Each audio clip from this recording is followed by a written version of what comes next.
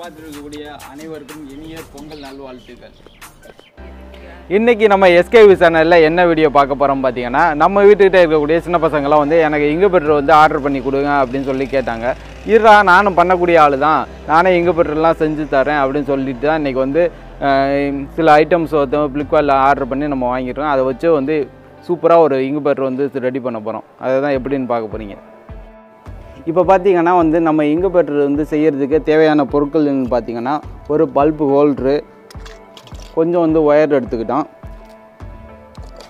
அப்புறம் பார்த்திங்கன்னா ஒரு டோல் ஓல்டு கூலிங் ஃபேனு ஒரு டோல் ஓல்டு அடாப்டரு இதுதான் முக்கியமானது தெர்மோஸ்டாட்டு ஒரு குண்டு பல்பு அப்புறம் கொஞ்சம் வந்து தெர்மோகோல் ஒரு எம்டியான ஒரு அட்டை பாக்ஸ் இது இருந்தால் போதும் சூப்பராக ஒரு இங்குபெட்டரை வந்து ரெடி பண்ணிடலாம். இப்போ வாங்க எப்படி செய்கிறதுன்னு வந்து வீடியோ தொடர்ந்து பாருங்கள் தெரிஞ்சு. இப்போ நம்மக்கிட்ட இருந்த தெர்மகோலை வந்து கட் பண்ணி இந்த அட்டைபாக்ஸ் ஷேப்லேயே வந்து நம்ம வச்சுட்டோம். இப்போ இந்த தெர்மோகோலை வந்து நம்ம எதுக்காண்டி வச்சுருக்கோம் அப்படின்னு பார்த்தீங்கன்னா உள்ளே இருக்கக்கூடிய ஹீட்டை வந்து வெளியே அனுப்பாது. அதே மாதிரி வெளில இருக்கக்கூடிய ஹீட்டை வந்து உள்ளேயும் கொண்டு வராது.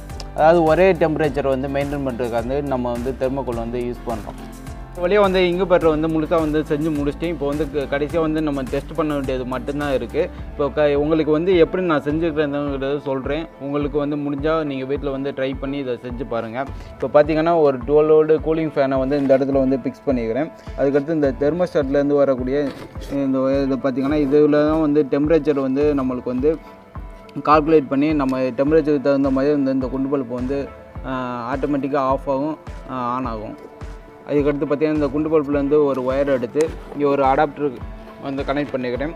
அதுக்கடுத்து பார்த்தீங்கன்னா இந்த ஒயர்லேருந்து ஒரு ஒயரை கட் பண்ணி வந்து இந்த தெர்மோஸ்டாட்டில் வந்து கனெக்ட் பண்ணிக்கிறேன் அப்புறம் இன்னொரு சைடு பார்த்தீங்கன்னா தெர்மோஸ்டாட்லேருந்து இங்கேருந்து ஒயரை எடுத்து இந்த ஒரு டுவெல் ஓல்டு அடாப்டரோட கனெக்ட் பண்ணி அந்த ஒயரோட வந்து பார்த்தீங்கன்னா டுவெல் ஓல்டு வந்து கூலிங் ஃபேனை வந்து கனெக்ட் பண்ணி வச்சுருக்கேன் இப்போ வந்து ரெண்டுங்கன்னா இந்த இடத்துல தான் வந்து நம்ம வந்து முட்டையெல்லாம் வைக்க போகிறோம் இங்கே பக்கத்தில் ஒரு கப்பு வந்து எடுத்து அதில் வந்து தண்ணி ஊற்றி வைக்க போகிறோம் கரெக்டாக ஒரு இருபத்தி ஒரு நாள் கழித்து பார்த்தீங்கன்னா உங்களுக்கு வந்து முட்டையிலேருந்து வந்து குஞ்செல்லாம் வந்துடும் வந்து நல்லா ஒர்க் ஆகும்னு நினைக்கிறேன்.